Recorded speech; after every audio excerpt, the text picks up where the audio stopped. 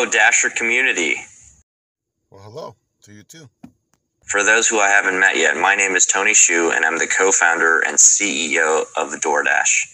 As you may have heard, Proposition 22 in California has passed. Okay, so what's next? I wanted to take a moment to send a message of thanks.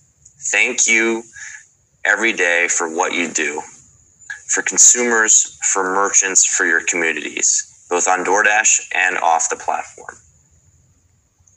It was humbling and incredibly energizing to watch your actions alongside the voters in California who voted during this election to say yes on Proposition 22. Proposition 22 will first and foremost protect the flexibility to earn on your own terms. Boring. Come on, Tony. What are you trying to tell me? Get to the point. To ensure higher earnings guarantees. Wait, I'm gonna make more money? To give you mileage reimbursement.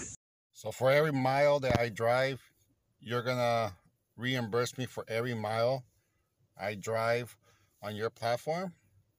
Okay, I'm listening. And offer you new protections that will support this growing independent workforce. What kind of protections? We are excited and look forward to making these changes as soon as the law takes effect. And we will update you as that time comes, and we will continue giving you these frequent communications to make sure that you're up to date on all of these changes. We are humbled and energized by your support, and we look forward to building the future together. Thank you. What? That's it? You're leaving? A one minute video? Come on, Tony. So you basically told me Proposition 22 passed. We know.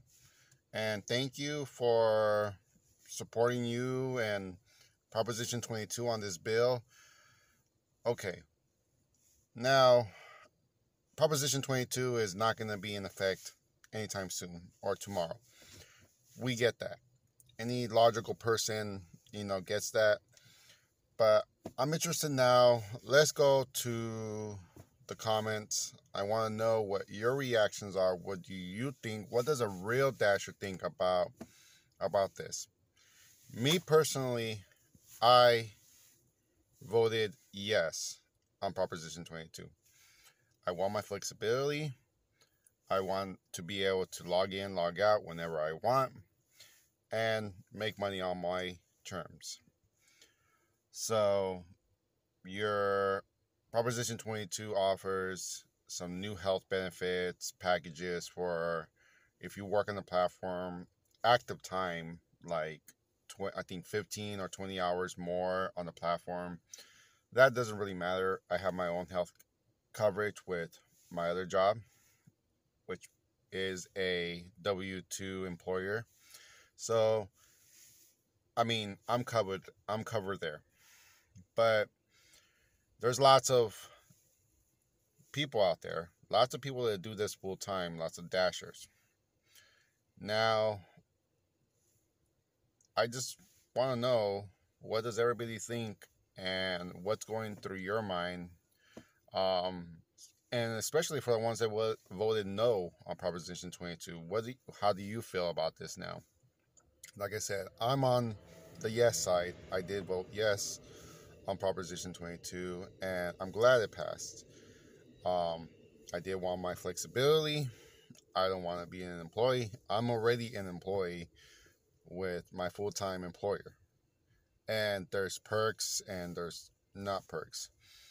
So, what does everybody think? I'll do another video reacting to the to the comments of this video that was on the DoorDash channel and Tony Xu puts out.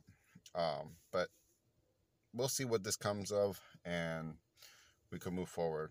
To now, D2C Vlogs, I'm out. Like, subscribe, and comment below. What do you think?